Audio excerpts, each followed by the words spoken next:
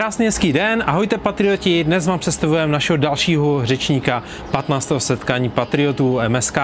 Je jim Lenka Ondruchová, zakladatelka společnosti Queens, což je obchod se streetwearem a teniskami. Za 20 let budování této firmy ji vytáhla opravdu vysoko. 200 milionovému obratu přidala 50 zaměstnanců, pobočky v Praze, Brně, Ostravě. Tato značka se stala modním trendem a love brandem. Na setkání nám prozradí svůj příběh o tom, jak založit, vybudovat a prodat svou firmu.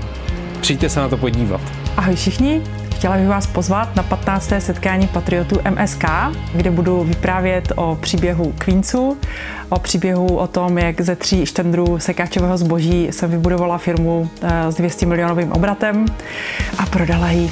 A co dělám teď? Budu s váma sdílet uh, věci, co se mi povedly, co se mi nepovedly a doufám, že vás inspiruju k tomu, aby se vám podnikalo uh, lépe. Těším se na vás. Krásný den.